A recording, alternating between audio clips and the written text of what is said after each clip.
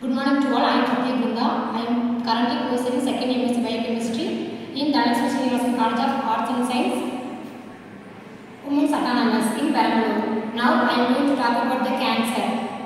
And in the disease which abnormal cells divided into the control and destroy the body cells. Cancer arise from the loss of ability on and reproduces with the balance but the cancer cells are imbalanced.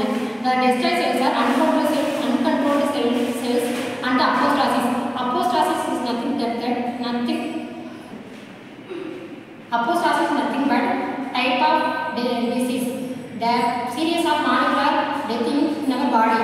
The body to get ready in the unwanted disease and cancerous. The process of apo, apo, apostasis block the membrane death. It is also called membrane cell death. The disease was first called cancer by Greek physician Hippocrates. He is considered the father of medicine. Hippocrates used the term of carcinoma and carcinos describe the ulcer and ulcer and non-ulcer forming. Carcinoma is nothing but cancer, the cancer type. It like it like it affect the esophagus like skin. The most of the cancer cell affect the organs, liver, lungs, pancreas, head and brain. Stop it. Of the cancer, fatigue, frequently weight loss and weight gain, vomiting, fever, habits of bad habits changes.